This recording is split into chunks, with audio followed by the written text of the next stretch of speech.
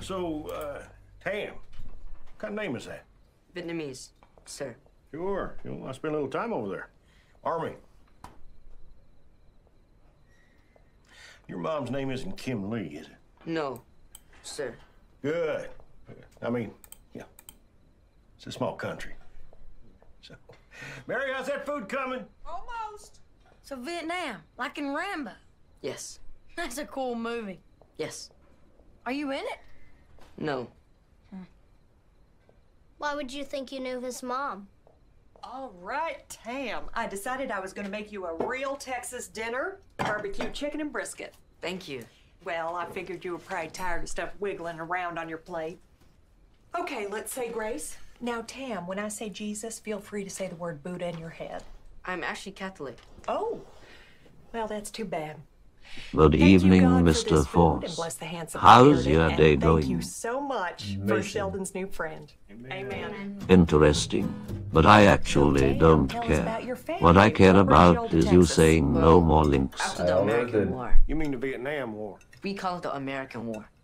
Oh, Anyway, you after did. the war, Well, I don't sent to a care. Here's a link. fought on the wrong side. Careful. You mean our It's side? not a Mario. I was trying to be nice. So, for many years, my mother and my sisters and I were very poor and very often didn't have much to eat.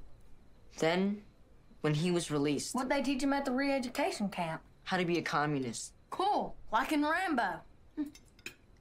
When he was released, we escaped on a small boat and spent many weeks at sea dodging Cambodian pirates until we reached Thailand. Oh, that's supposed to be a beautiful country. Lovely beaches. I wouldn't know. We were forced to live in a refugee camp where the only thing we had to eat were pigeons and rats. Ha, that's a job for hot sauce. Finally, we were allowed to come to the United States and start over in Galveston. My father saved money and bought his own shrimp boat. There's a happy ending, huh? See, kids, when the going gets tough, America provides. It did until the Ku Klux Klan burned our boat and chased us away. You gonna put a good spin on that one? So we came to Medford and opened up a convenience store.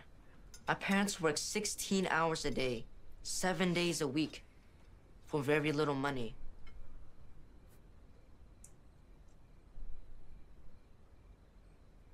Well, that was depressing.